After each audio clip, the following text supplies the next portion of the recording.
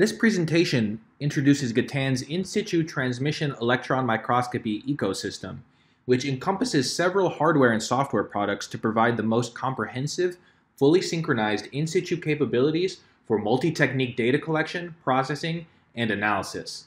If you're a microscopist who is interested in developing in situ techniques for your lab, or an experienced in situ microscopist looking to expand your in situ capabilities, then this presentation will be a useful overview of what's possible with Gatan.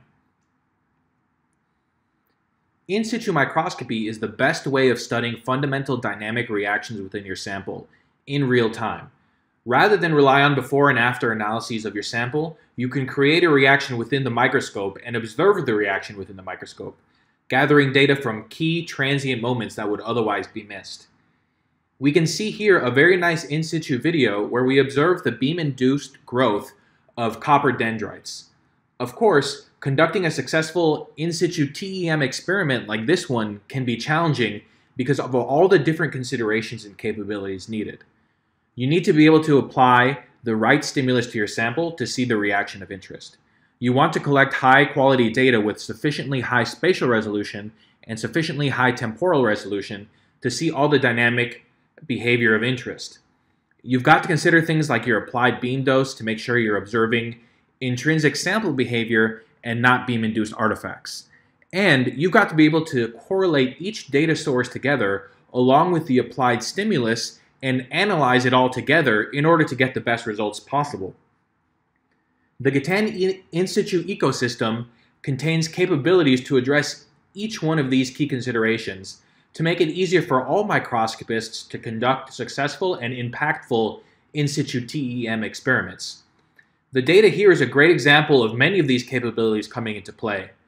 We can see the dendrites grow over several hundred nanometers while still being able to resolve individual smaller dendrite branches, growing with fine detail throughout different regions in the field of view. We also have enough temporal resolution to see fast growing regions over a span of several minutes. We know this because we can see our timestamp on the video in addition to the total beam dose being counted over the entire video. In this case, this entire 8-minute data set was collected using a total dose of only 470 electrons per angstrom squared, which is incredibly low. Now that we have some big picture idea of what goes into an in situ experiment, it's time to introduce the Gatan products available to make your in situ TEM experiments easier and more powerful. There are five different types of Gatan products which together form the most full, comprehensive, fully synchronized in situ TEM data ecosystem for multi-technique data collection, processing, and analysis.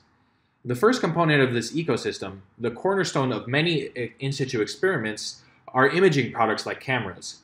Microscopists want to be able to see their sample reaction and record video data of all the dynamic behavior. Gatan imaging products, which have capabilities for high frame rate data collection, also enable other imaging techniques like continuous tomography. The next ecosystem component is made of products that support diffraction-based techniques. This includes in situ selected area electron diffraction, but also 4D STEM techniques, both in situ and ex situ, to do analyses like strain mapping of your sample or DPC, Gatan diffraction products also enable micro-ED experiments for more life science-based samples. Analytical products are the third component of the, of the ecosystem, and the newest generation of Gatan products enable in situ EELS, EFTEM, and EDS spectroscopy and spectrum imaging. Of course, you'll need to apply a stimulus to kick off your in situ reaction, and in situ holders are the fourth component of this ecosystem. There are several types of holders offered by Gatan, but third-party holders are also supported by the ecosystem when used in conjunction with other Gatan products.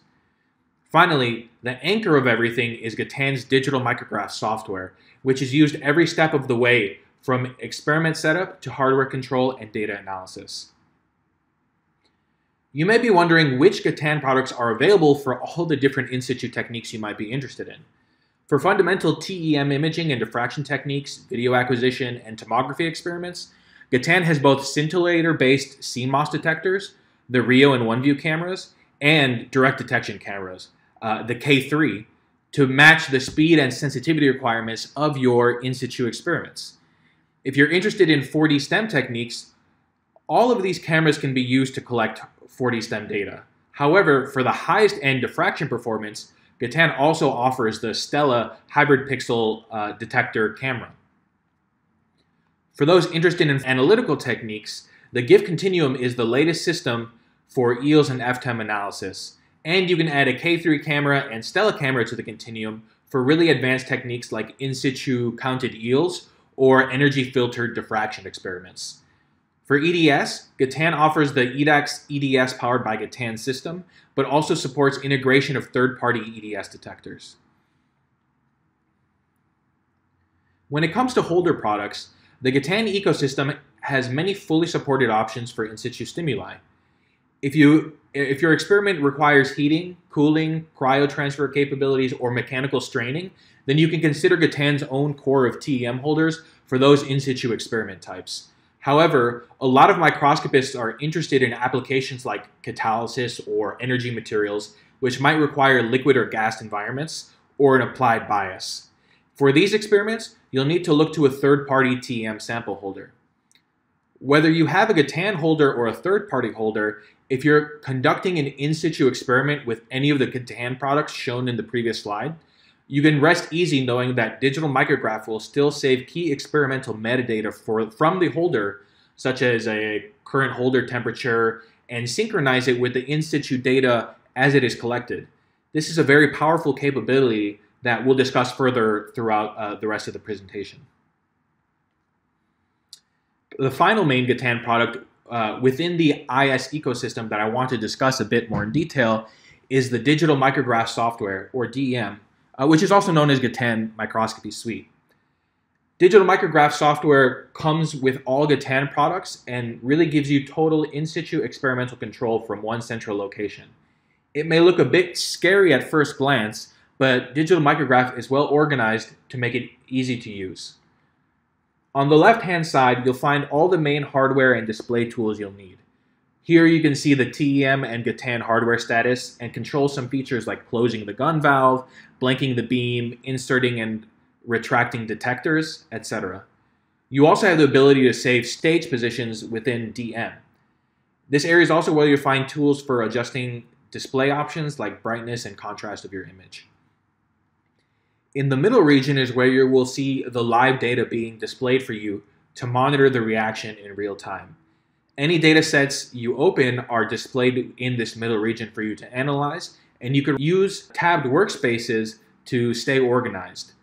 This region is also where you can open, write, and run scripts for data collection and data analysis using either DM scripting or Python languages. But we'll talk more about scripting later on in this presentation.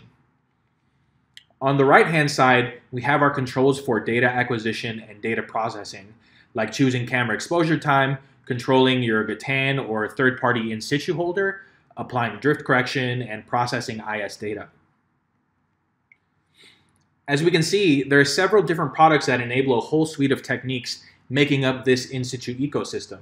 But the advantage of the Gatan ecosystem isn't just the ability to simply enable various types of in situ experiments, but also the ability to easily collect high quality data using multiple techniques and being able to rapidly process and analyze that data. Let's continue with data collection and how Gatan's in situ ecosystem makes it easy to collect high quality in situ data. The first part of any in situ experiment once you're at the microscope is setting up the detector control and the holder conditions. Within Digital Micrograph, use the Technique Manager on the right-hand side of the window and go from top to bottom to set everything up. For any in situ enabled detector, you'll find a toggle in the in situ palette to quickly switch to in situ mode and enable in situ specific features for your detectors. Second, you'll find options for key detector settings. For example, if you're using a camera like the OneView uh, camera, you would choose your binning, any imaging exposure time, and the exposure time for the video that you plan to record. Once that's set up, you can choose your lookback time for the experiment. Lookback is a powerful feature within Digital Micrograph that temporarily stores a certain amount of video in a buffer even before you start recording the video. This means that you can start recording data only after you see the reaction happen, while still saving data from the reaction onset. More on this in the next slide. After you've set your lookback time, the next step is to set a file path for automatically saving your video data so you don't have to worry about setting it later.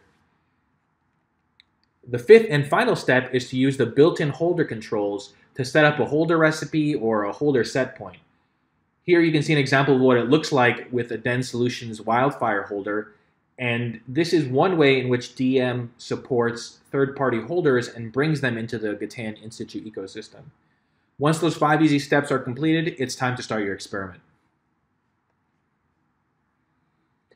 Many in situ microscopists worry that they'll miss the reaction of interest, either because it'll be outside of the field of view of the detector or because the reaction will start before they're able to start recording data. With Gatan's in situ cameras and digital micrograph, you don't have to worry about missing critical or unanticipated events. I talked a bit about lookback in the previous slide. With lookback, you can set up a 20 second buffer of video, so if something unexpected does happen, you can start recording once you notice a change and still capture the reaction onset. However, Another big advantage comes with the high pixel resolution of Gatan cameras and the detector performance. You may not, not always know exactly where the reaction will happen in your sample, especially if it has many possible regions of interest like this gold sample shown here. In this case, the best strategy is often to use a lower magnification that you would usually use in order to have a wider field of view. And since you can collect 4K by 4K video, for example, from the OneView camera or the Rio IS camera, you will still have the ability to zoom in on different sub areas, regions of interest, and see high resolution detail. When it comes to in situ data, time resolution is often even more important than spatial resolution. In situ microscopists need to be able to see faster reactions or use only a certain amount of beam dose in their experiment. Fortunately, any in situ enabled Gatan camera can collect in situ data with millisecond time resolution, with frame rates depending exactly on which camera you're using and how much binning you are doing of the image. But frame rates in excess of 100 frames per second are possible with all cameras depending on how it's set up. This is a good time to focus in specifically on the K3IS camera, which is the highest frame rate and highest resolution camera that Gatan offers, and also uses direct detection and electron counting to deliver high frame rate data with the lowest electron dose possible. The video that was just shown here on the right is the same copper dendrite growth experiment that we saw earlier, only this time the data we're seeing was collected over only one second, not several minutes. This data was collected with the K3IS, which is able to report the sample dose rate and save it along with your data since it does electron counting. This data set then represents not only high frame rate data collection, but also the ability to use extremely low electron doses and still get high quality video data with these high frame rates. And on top of that, you can see exactly how much dose was accumulated over the entire duration of the video, as was shown in the top left. Data synchronization is the last thing I want to highlight as a great benefit of working within the Gatan in situ ecosystem. We just saw how we can synchronize dose information with the data to see how much dose is on the sample at any time in the video. But digital micrograph is able to collect and synchronize multiple types of IS data and or hardware metadata from the entire experiment. In effect, what this means is that you can always know the exact experimental conditions during collection, playback, and analysis of your in situ results. As an example, let's view this EELS spectroscopy dataset that was collected during an in situ experiment that we'll be playing back and reviewing here uh, from Digital Micrograph. This is in fact was a in situ dual EELS uh, experiment, and we can see both the low loss EELS and the high loss EELS spectra of this copper tin nanoparticle that was repeatedly heated and then cooled. The dataset also shows live curve fitting of the plasmon peak in the EELS spectrum, shown here in red. And at the bottom, we see three curves that indicate the holder temperature set point, the sample temperature, and the holder power that is being measured. All of this holder metadata is collected by Digital Micrograph at the same time as the EELS experiment and is available uh, during review and playback of the data. This is another example of how holders, including third-party holders, are integrated into Digital Micrograph and the in situ ecosystem. Coming back to the experiment, we'll see that there's a certain plasmon position at the starting temperature of 50 degrees C. And as a sample is repeatedly heated and cooled uh, to 250 C and then cooled back to 50 C, we can see that the plasmon position here is shifting back and forth.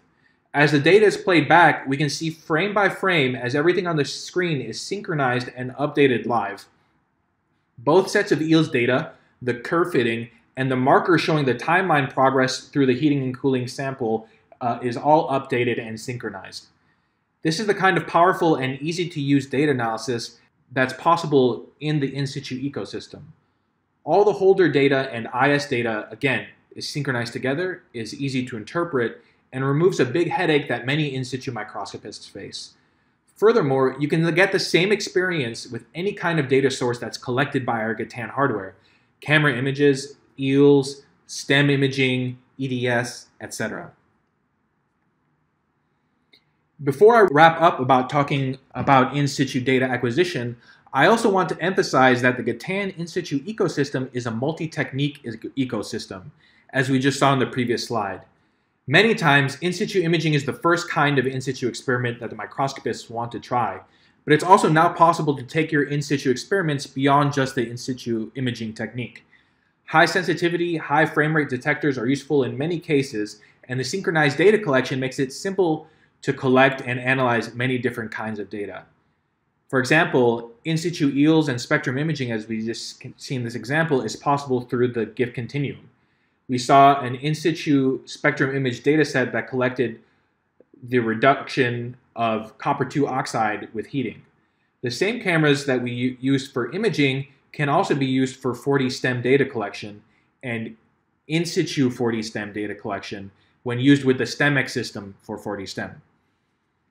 MicroED is an increasingly popular and important technique in the life sciences sector, and any Gatan in situ products you may be using for in situ experiments can also be put to use for microED diffraction experiments and related techniques right away. The last aspect of the in situ ecosystem I'll focus on is data processing and data analysis, and what tools are available within digital micrograph. Every microscopist conducting in situ TEM experiments very quickly finds out that effective data handling and processing is just as important as high quality data collection. It's not hard to collect terabytes of data over a half hour in situ experiment, but it can be tricky to move that data around and find the key moment that you want to highlight. As I mentioned before, digital micrograph has many different tools for handling and processing in situ data. The video that's been playing right now is our favorite copper tin nanoparticle that's being heated and cooled and is undergoing a crystalline to amorphous phase transition. It's the same kind of sample as we saw before with the in situ EELS. As the sample heats, we see it start to drift a bit, and perhaps we need to adjust the position of the beam during the experiment, and then we change focus, and we decide maybe we only really want to focus on the first part of the video.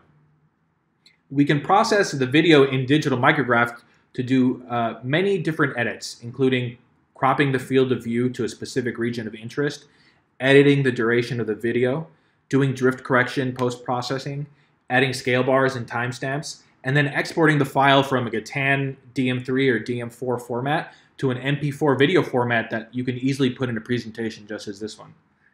The resulting video is one we see here on the right. And the key takeaway from this example is that you have complete and easy to use capabilities to edit and reduce your data after acquisition so you don't have to worry about it beforehand.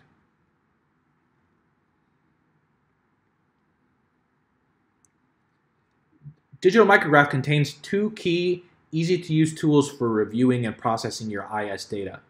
The first is the in situ player, which allows you to automatically play back your data, whether it's video or spectro or any other kind, you can manually scrub through the data or play it back at different speeds.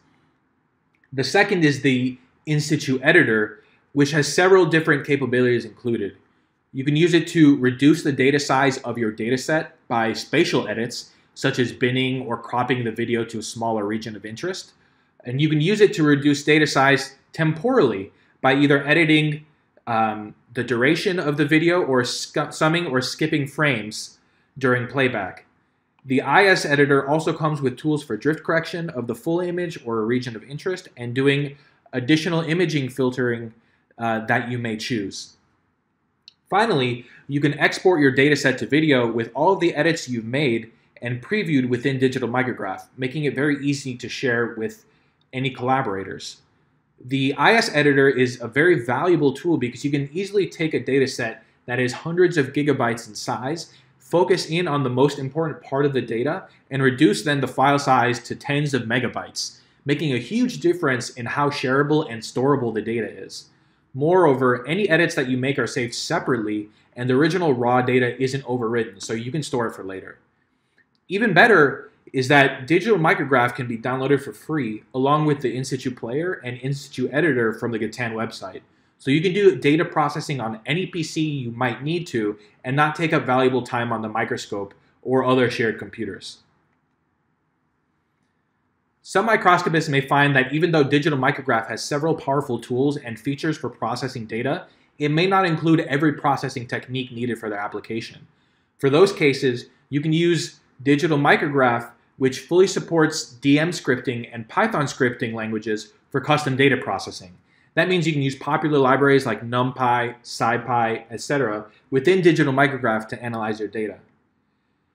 With scripting, you can also control data acquisition or do live data processing in addition to custom post-processing techniques. For example, the clip shown here demonstrates how you can use Python scripting for live data processing during an in-situ heating experiments. Again, we see our favorite particles melting and crystallizing as the temperature is cycled. A live FFT is being generated, and then a radial profile of that FFT is being collected and formed live to show how the repeatable phase tra uh, transformations happen over time. And to dive back into our copper dendrite sample, data processing with scripting means that you can do more with your IS data than ever before, such as image segmentation and calculating meaningful reaction kinetics like particle growth rates. With that, we are now fully acquainted with all of the products and capabilities offered by Gatan. Together, they form the most comprehensive, fully synchronized in-situ TEM experiment for multi-technique data collection, processing, and analysis. If you'd like to learn more about Gatan's products or view some of the experimental data shown in the presentation, visit Gatan's in-situ website at gatan.com slash in-situ. Download the latest version of Digital Micrograph for free from their Gatan website as well, and try out the IS Player and IS Editor yourself make sure you visit the Gatan YouTube channel as well for even more content like webinars and in-depth tutorials and applications data for in-situ TEM and other techniques. And finally, feel free to get in touch with Gatan through the links available on the Gatan website.